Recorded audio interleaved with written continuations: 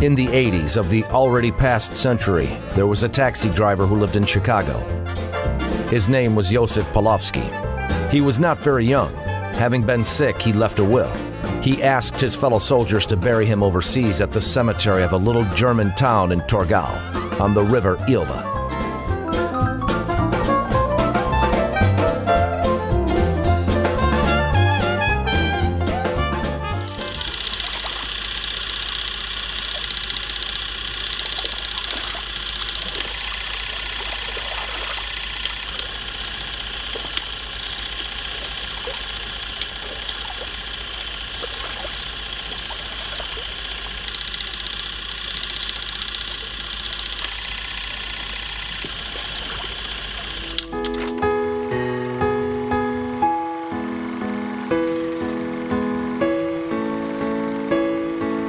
Complete huddle on the roads of Europe in the spring of 1945. Battle maps, accurate and logical, could not give even a rough idea of what was going on then.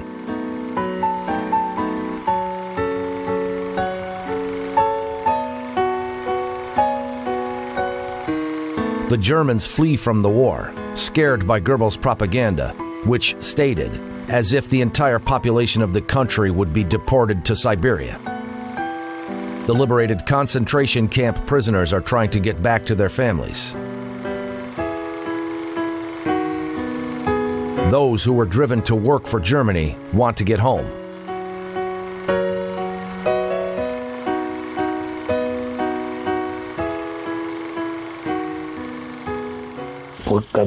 Thus, when we were passing through Germany, it was just unbelievable, somehow even inexplicable.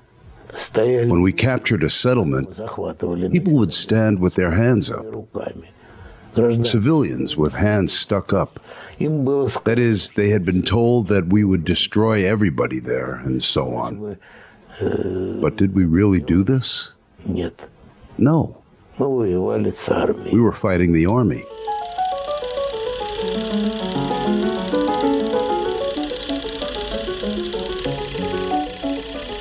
Once we were approaching a settlement, we were riding horses.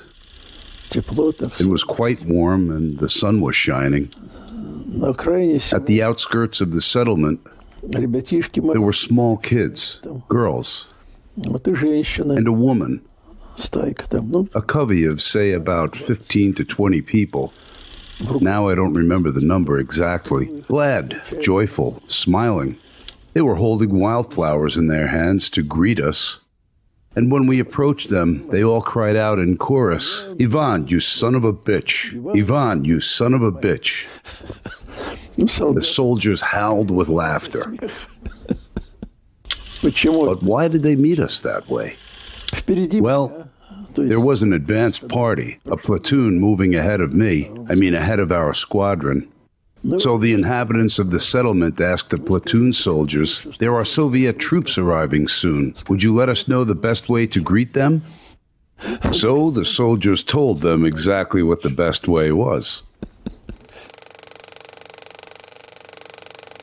The chaos was getting worse. The disbanded army is looking for some entity to yield prisoners to. The prisoners move around almost without any escort. Sometimes there was just one convoy for a thousand disarmed soldiers and officers. Almost everybody was aware of what was going on. Almost. But not everyone. It is the middle of March. Hitler recommends to Guderian to go on vacation. The general responds, My Fuhrer, I will choose a cottage for rest in a place which would not be captured within the next 48 hours.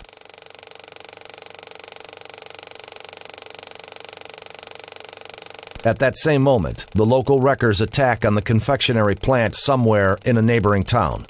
The Allies find themselves waist deep in sugar and chocolate bars.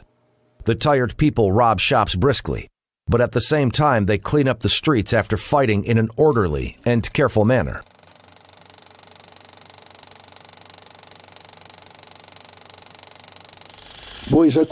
Battle is over. Morning is coming. And they immediately start picking up the broken stone and rubbish. A few hours later, the work is over and the pavements are clean. A demolished house is located right over there, but there is neither rubbish nor broken stone around it. Everything has been cleaned up. Well, here I am walking through town, and it's so clean that it couldn't possibly be cleaner. There is a woman she has a bucket, a mop, soapy water, and she is washing the pavement with soap. Afterwards, she would rinse it all down with the clean water, and there you are.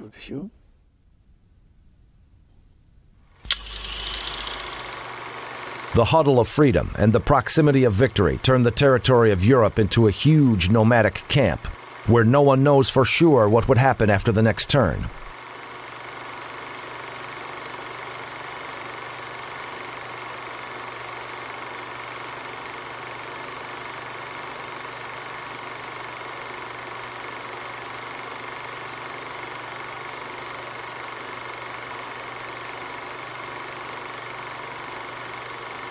Some things start getting into a mess at the front, too.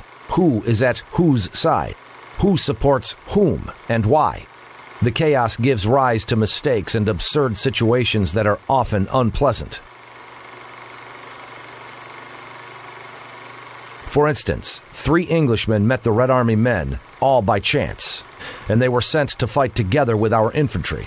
As they wrote in a statement to their command later on, complaining post factum that restless evening, the Russians interrogated them, and the officer refused to recognize them as Englishmen, insisting they would inform him about the German division they belonged to. After that, the Brits were sent to a pig pen to spend a night in the company of German prisoners.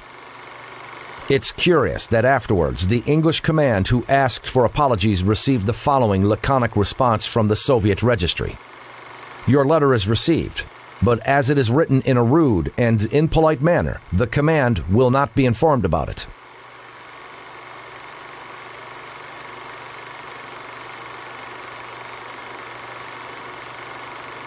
The Red Army was moving across Europe with such a swiftness which scared the Allies. The soldiers exhausted themselves. They would have reached the Mediterranean Sea and even the Pyrenees.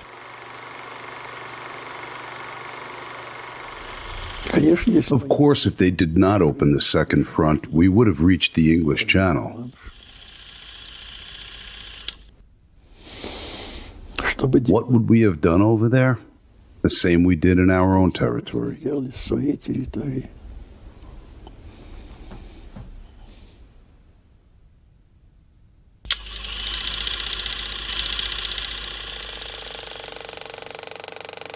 From the moment the Allied forces landed in Normandy, the linking of two armies became inevitable. But the discussion of the Allied forces and the Russians about the capture of Berlin was really frightening. It showed well that the common sense too often gives way to the desire for revenge.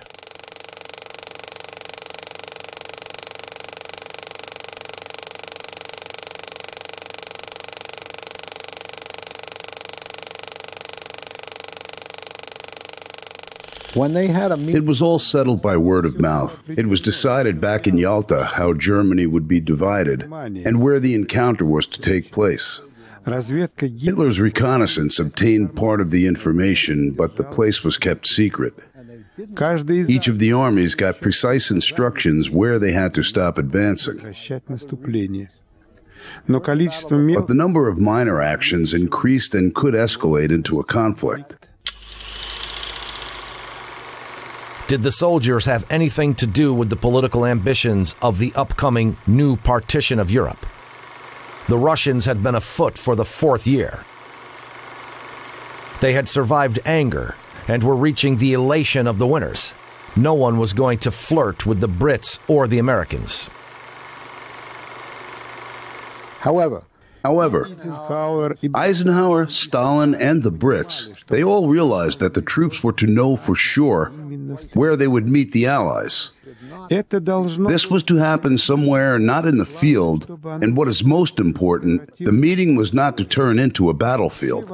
Everybody was in fact afraid of the approaching event. It was really not so easy to organize all that in practice. On top of it, the armies had different equipment. The Americans used radios, and Soviet troops worked on wire telephony. But whatever system one used, without speaking each other's language, they could not establish contact which aggravated the mess. They needed some natural borderline. A river was the best choice.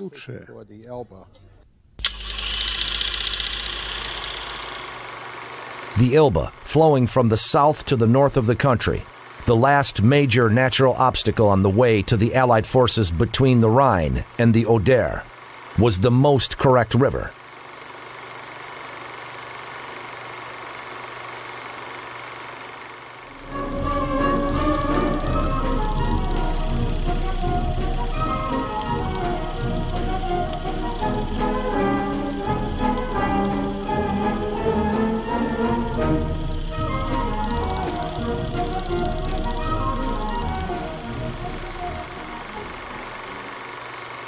Considering mutual distrust and different outlooks on the destiny of the world, the politicians were seriously afraid of the outcomes of the meeting.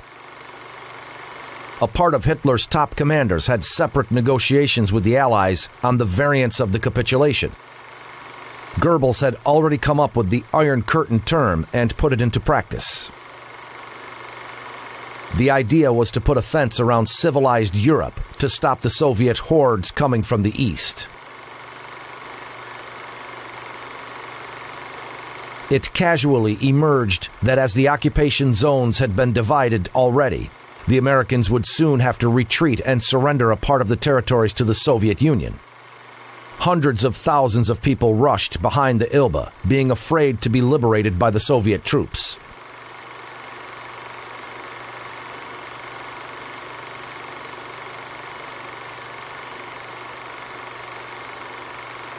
By the end of March, Churchill arrived to the Rhine in his airplane. They said that the explosions of the shells falling some meters away frightened the Prime Minister as much as the upcoming linking up with the Russians. Neither he nor Stalin had any illusions regarding the mutual trust, let alone friendship. Letters of instructions were filled with statements of harmful complacency and unnecessary credulity.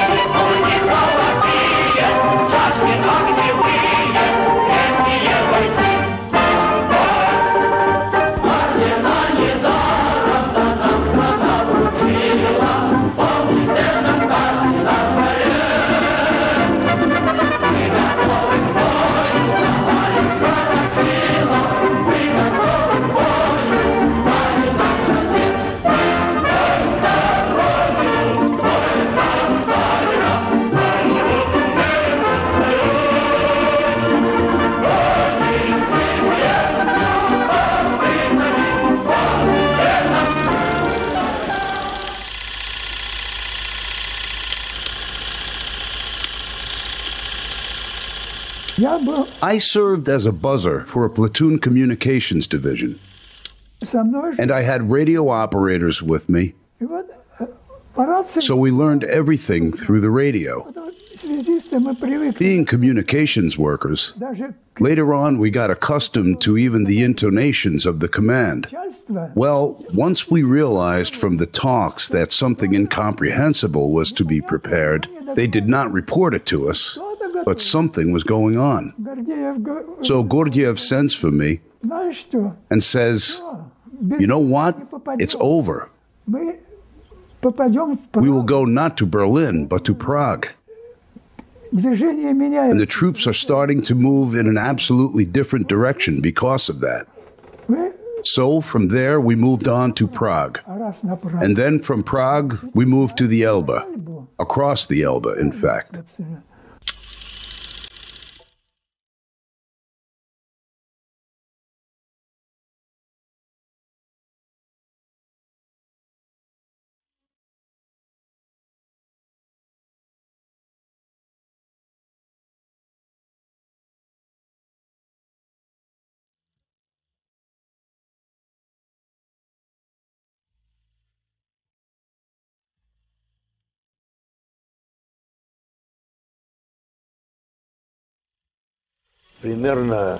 Around, say, the 20th of April, the command informed the staff of the division that there could be an encounter with the American troops advancing from Normandy at the River Elbe. The prearranged signal for this encounter was a series of red rockets from our side and a series of green rockets from the American side.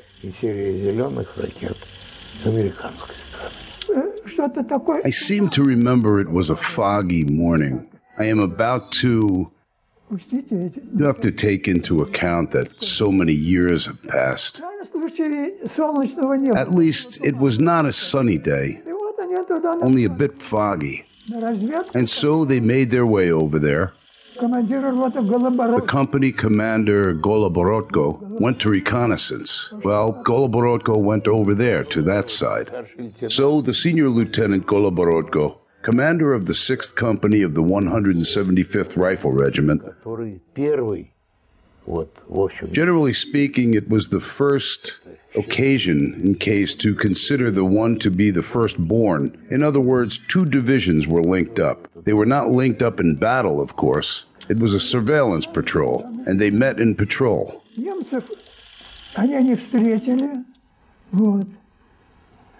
They crossed the river. In fact, they met some Germans, uh huh. They just. Well, some division was leaving, actually. Nevertheless, no combat operations took place at that moment. That is for sure. Well, then Goloborodko came back. He reported to the regiment's commanding officer on what and where. Well, we transmitted it all, informing accordingly that the reconnaissance party returned. Goloborodko proved that actually no Germans were found there, that there was just a group of unknown military men dressed in a uniform other than the Soviet one, that those men simply wore different uniforms. Uh, and the second meeting took place in Torgau. It was already after 3 or 4 p.m. How was it? The same, the same day, only several hours later, our reconnaissance man, Sergeant Robertson, set out to Torgau. He did not find any German troops there, but at the end of the bank of the river, he discerned soldiers in unfamiliar uniforms. He thought maybe these are Germans who had changed their uniforms to mislead the Americans. Still more so that they opened fire at him.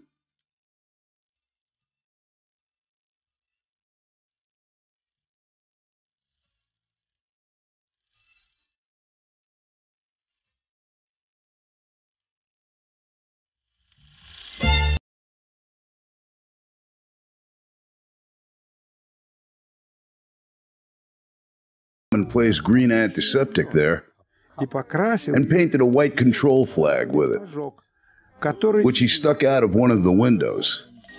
The Russians noticed him and, without understanding well who was engaging in negotiations with them, sent their signals for the Americans, a red rocket. However, they did not get a proper response, so that everybody was at a loss. It seemed like no one was shooting, and Robertson went to the bank of the Elbe with his self made identification sign, a flag smeared in green antiseptic.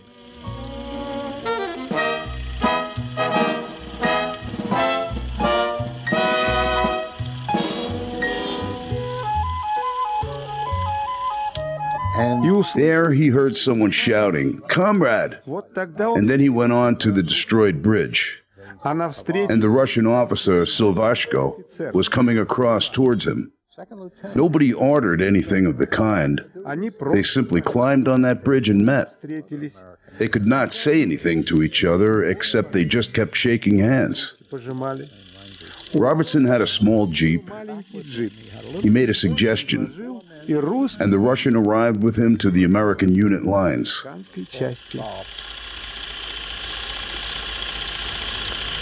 It was an unauthorized meeting. No one sent him, Robertson, and no one sent Silvashko. But it did happen so. Here is Silvashko and Robertson. This is the photo of the two of them, published in numerous Soviet and American newspapers. What he was the first to prove. Our commander of the division, General Reinhardt, said to Robertson, Chap, you got there without an order and put him under detention. Though only for an hour. Soon everybody realized that these guys were the heroes of the day. And how smart he was, that Robertson. One might say that he stole that Russian to prove that the meeting had actually happened. And in the meantime, our secret agents were at full speed investigating the absence of Silvashko from the unit.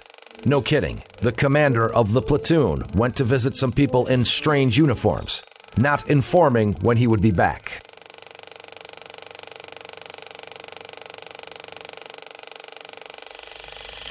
At first, no contacts were allowed, neither from the American side for the Americans being punished for that, nor for the Soviet side. When Stalin, the Kadm- there was an order issued permitting contacts to commanders of divisions. There was an order issued permitting contacts to the commanders of divisions, corps, and the army commander.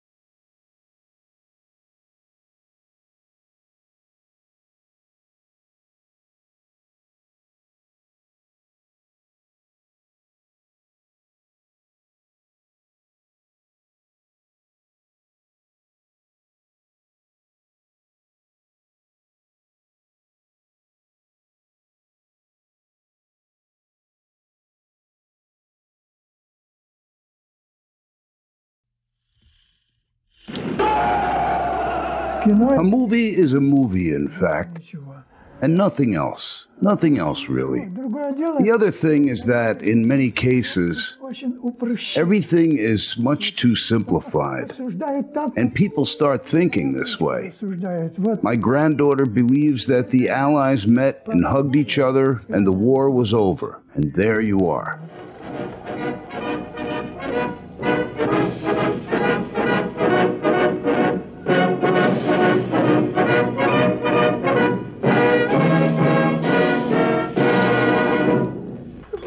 You know, Americans behaved somehow in a more cheeky way than we usually did. As for us, it was all where to go, how to go, and all of that kind. And they were the freedom. They crossed the river in boats, several men already. And they started communicating with us friendships and all that, hugs and the other, you see. That was the difference between us and the Russians. Perhaps we had a different attitude to many things. They had a stricter discipline. I don't know how it was with such things as meals. For example, if they tried to serve us yesterday's supper for breakfast, we refused to eat it. We just threw it away and demanded what there had to be according to the regulations. Is it possible with the Russians? I remember once my commander told such a strange story. We didn't know whether we should believe it or not as if one of the Russians tried to take a bicycle from a civilian German. At the same time, an officer would try to stop that soldier, and then he started shooting at him. What was that? An exaggeration? Propaganda? Misunderstanding of the situation? I don't know. I remember some American even presented me with a cigarette case. I kept it somewhere, and then I don't know. Maybe my grandson took it away. Yes, that was it. Things like this, really. And what could we suggest as a present? Maybe a red star from the cap? The other thing was that afterwards, the sergeant major would ask where the star had gone. Oh, Yes. Okay. Uh,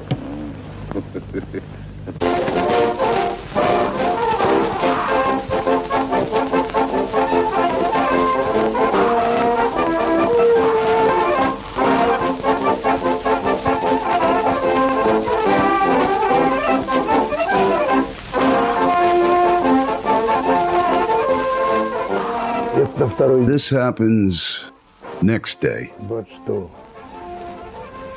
on the 26th, when General Rusakov invited the divisional commander Reinhardt of the 69th Infantry Regiment.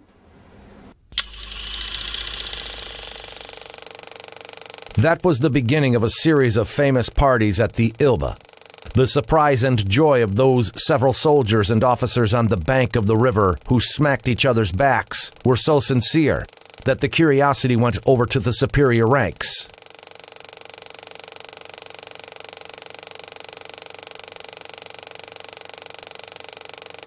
They started to pay visits and invite guests in compliance with the titles.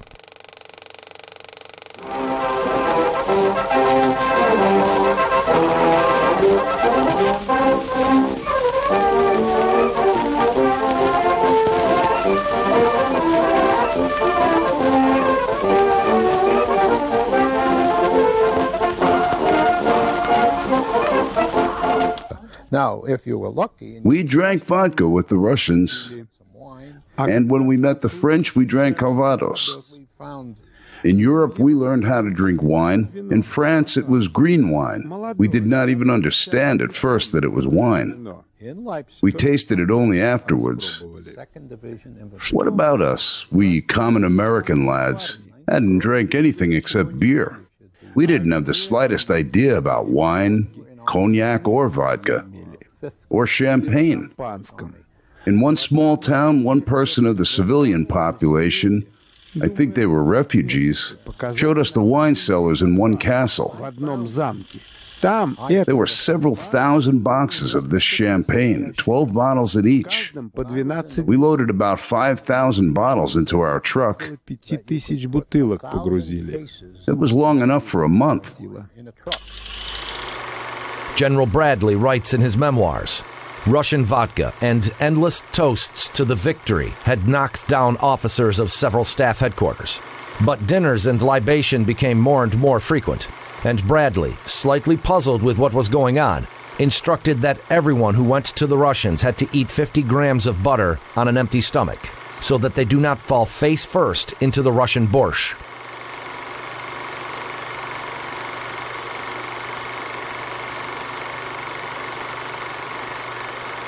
Soviet political bodies, in their turn, informed the personnel well beforehand. on the 25th of April and prior to the first toast of the following. The prestige of the dignity of the Russian soldier and officer must be held according to the position occupied. And on the 28th, the order was issued. To the units and detachments, as well as to the soldiers and officers personally, to demonstrate high discipline and competently develop consciousness.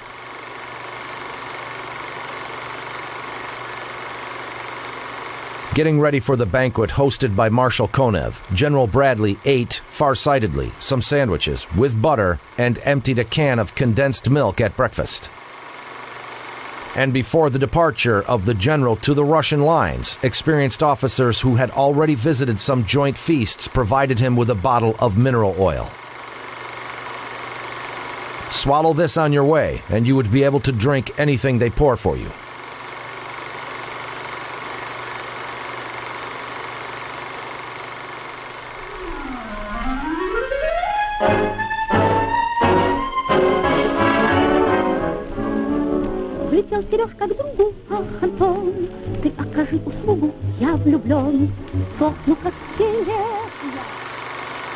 According to Bradley's recollections, there was plenty of fresh caviar, veal, beef, cucumbers, brown bread, and again some butter on the table of Marshal Konev. Toasts to the Big Three, to the victory were pronounced, but Bradley was surprisingly lucky. Konev drank white wine, not vodka.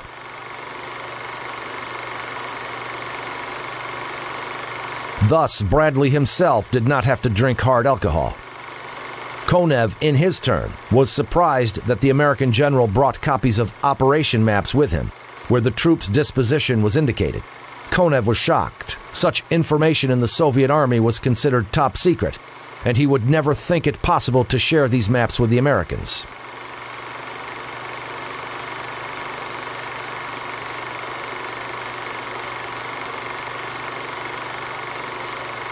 In the evening, when the guests were already leaving the villa, Konev and Bradley went out to the garden. An orderly led out a Don horse with a red star embroidered on the saddle. Konev gave the bridle to Bradley. An inscribed pistol was added to the gift.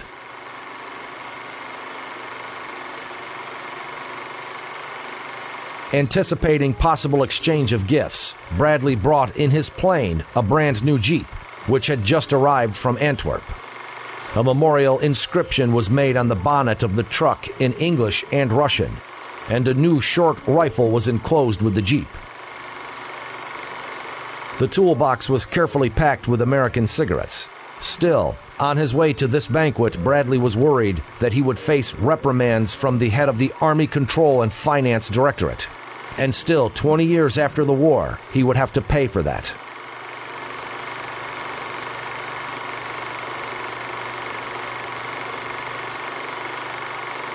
Well, to hell with it, said Bradley. We could not come empty handed.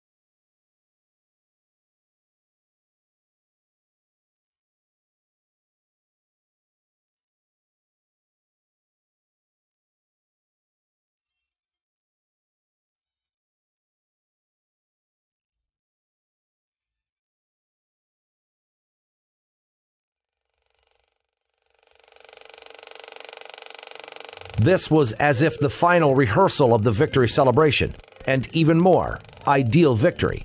Here at the Elbe, no one neither divided anything nor promised or deceived anybody.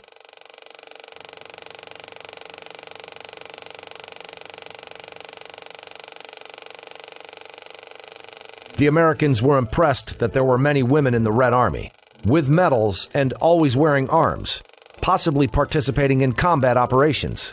Americans discussed. Our officers from their side felt shy sometimes in the presence of chic American canaries.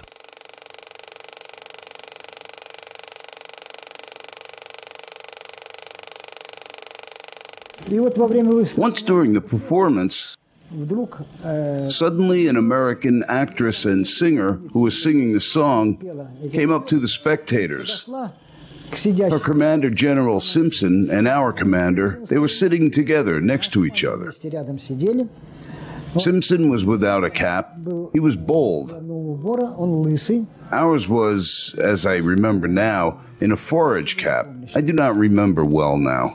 But still, she took a kerchief.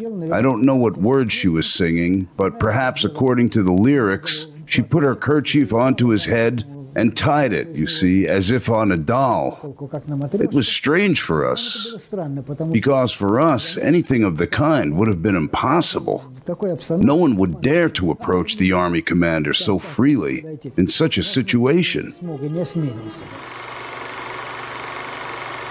On April 27th, there was a salute in Moscow to celebrate the meeting of the Allies. But there, at the Elbe everyone was trying to surprise each other. The Americans demonstrated tap dance and jazz. As they say, there was a jazzman found urgently among our musicians who could keep up a melody of the overseas colleagues.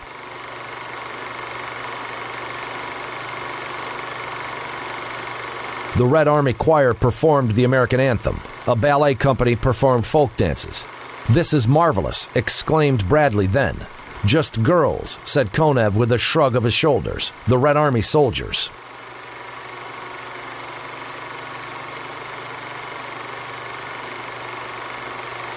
Two weeks later, Bradley himself did not leave the favor unanswered. When Konev paid him a reciprocal visit, a violinist in an ordinary soldier's uniform was part of the cultural program. His playing entranced our marshal.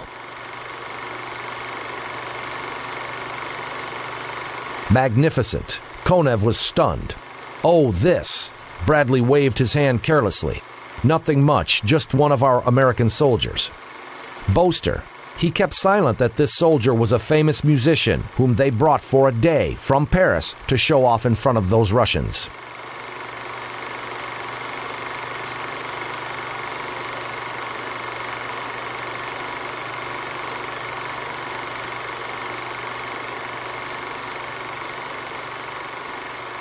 and Europe itself kept surprising both Americans and Russians. The winners were curious in examining the corner of the Earth, which they had finally reached. In the company of my orderly, I often traveled around without any special goal, just to see how people live. And one day near a hamlet, either I ran out of petrol or my motorcycle broke down somewhere, so we stopped. And I came up to that German saying, Please let us spend the night at your place. He gave us a small room. In the morning, I took out a banknote intending to pay the host for the night. It was a banknote equal to 100 occupational checks. The man waved his hand, saying, Nicht gut, nicht gut. I thought he was being dishonest, for he was given 100 checks and it seemed too little for him. He took out a small piece of paper and started writing on it with a pencil listing the amount of electric energy he had spent on us, how much this and how much that, pointing to our bed and to the window. And there, our motorcycle had been standing in the open air. I looked out of the window. The motorcycle stood there all clean, washed, and charged with petrol. Finally, our host wrote down everything how much the cleaning was, and the tidying up, and the work itself. All in all, he came up with the amount of only two checks and some pfennigs. I looked at his calculations, thinking of the kind of man he was. I was suggesting him 100 checks, and still he calculated all these bits. He took my 100 checks, went away somewhere, and brought back the change. This is honesty.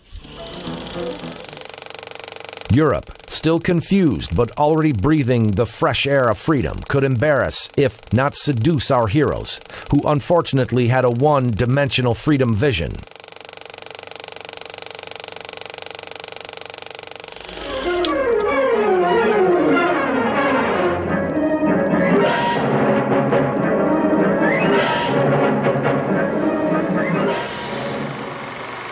And from the very beginning of the historic meetings at the Elbe, they were continuously in the focus of attention of competent authorities of the Soviet and Allied forces as well. Both were afraid of mutual influence, almost uncontrolled in the context of such warm hearted communication.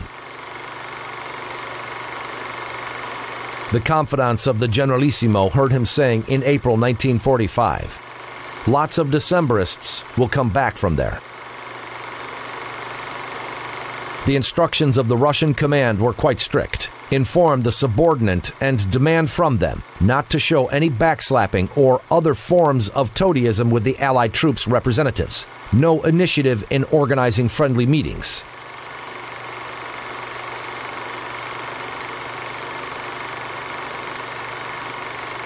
And no refusing them as well.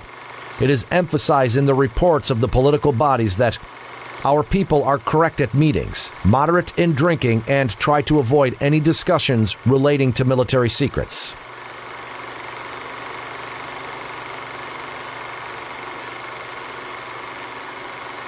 In the same statements, the details are given as to who said something incorrectly and about what. For example, one of our officers suggested the Americans fighting together with the Russians against Japan, and someone was reduced to a lower rank because of that. In the same statement, the command is informed about the attempts of the Americans to embarrass our officers with provocative questions about the future order of things in Berlin, about the attitude towards refugees and prisoners of war. And in the course of the banquet, one of the Soviet commanders tried to ask an American general if his soldiers were entrenching against us. Entrenching? Certainly not. We are allies after all. Well, about how they behaved. I'll tell you a story. We dropped into a bar to have some beer. You could not find anything to eat at that time in Berlin, but there was plenty of beer. We occupied two tables there. There were some Russian soldiers nearby, too. And in one of the corners, there were Americans, a group of Americans. As always, they were sitting there with their feet up on the table, drinking beer and smoking cigarettes. Well, they had quite a good bit of beer. And so one of the Americans took out a cigarette and hurled it at those soldiers. Not at us, but those soldiers.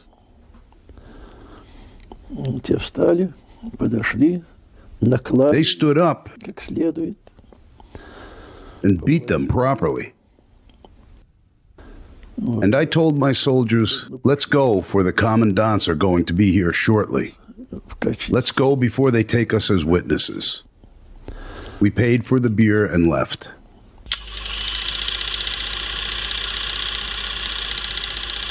And I don't think it would have been right.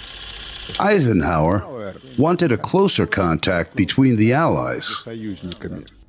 He suggested creating special groups of communications workers, translators who would facilitate communication both in person and for the exchange of information between the command of the Russian and the British American troops to coordinate combat operations. But Stalin rejected this idea. He wanted to lead his own war, not to consult anybody or coordinate things. The contacts were never direct, but through Moscow. There was a strange feeling that the Russians were after all, not very good as allies.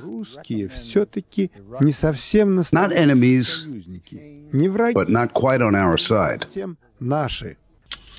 As for our prisoners of war, the Americans used to feed them before letting them go. They provided them with the cuts of fabric for suits, greatcoats, coats, persuaded to stay, did some recruiting work among our prisoners of war. And they told this to me, those who did this. And those who had been recruited. Some stayed, leaving for Canada, America, and Australia. And those who did not agree went to the polar region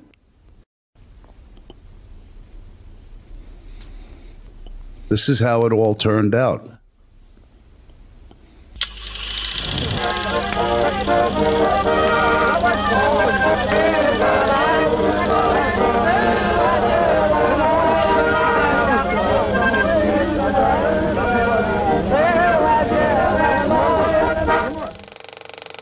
Actually, they went away from each other quite quickly. A week, maybe a bit more. The command still continued exchanging visits. But those who had hugged each other on the banks of the Elbe were already on the march.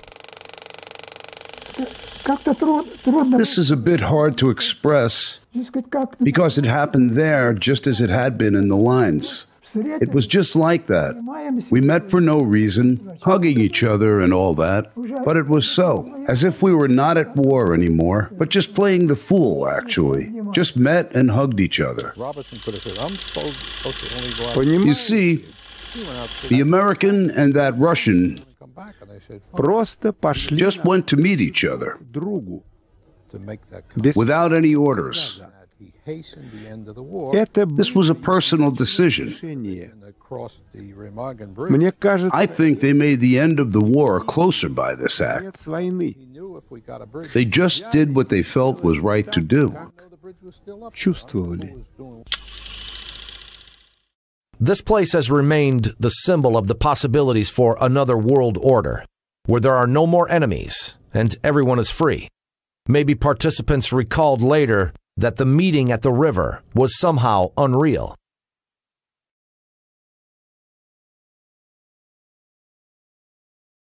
One could not quite believe that it was actually happening.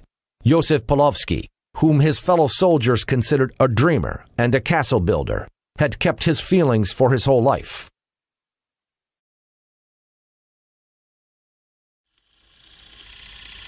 Joseph Pavlovsky. Joseph Polowsky is a taxi driver.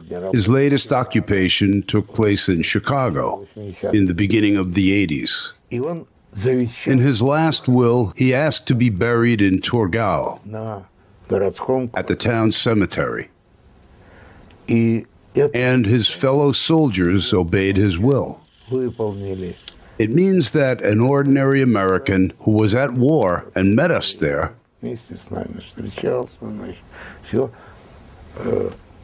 made a will to be buried in the town where we had met. I think this is what he really meant.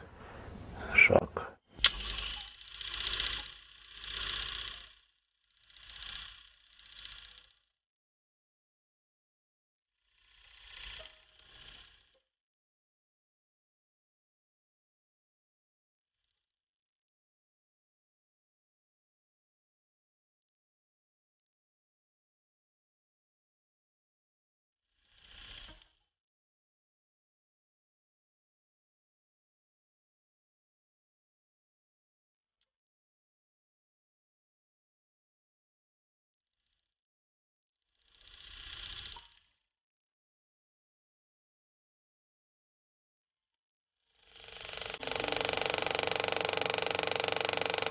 Politicians were already determining the areas of influence and established frontiers, and traffic control barriers, checkpoints, document check.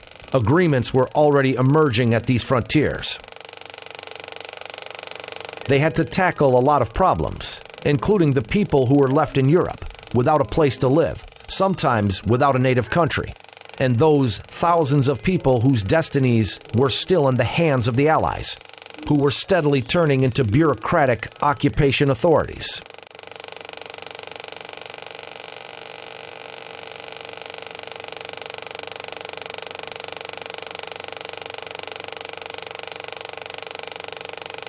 There were still several days before the end of the war and the capitulation. The combat was still on. But this short letup at the banks of a small river signified the end of the war.